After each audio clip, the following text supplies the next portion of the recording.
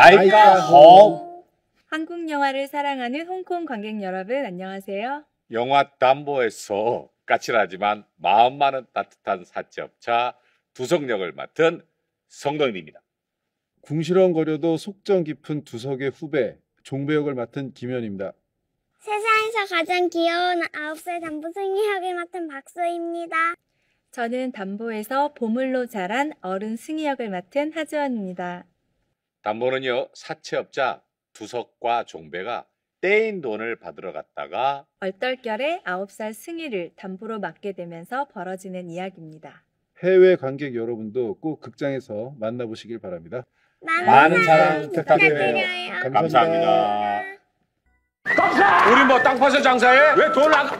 돈 대신에 담보로 데려온 거야. 오늘 추방해요. 그럼 얘는요? 엄마가 진짜 데리러 오는 거 맞아요? 무슨 일 있으면 바로바로 비비쳐. 담보냐?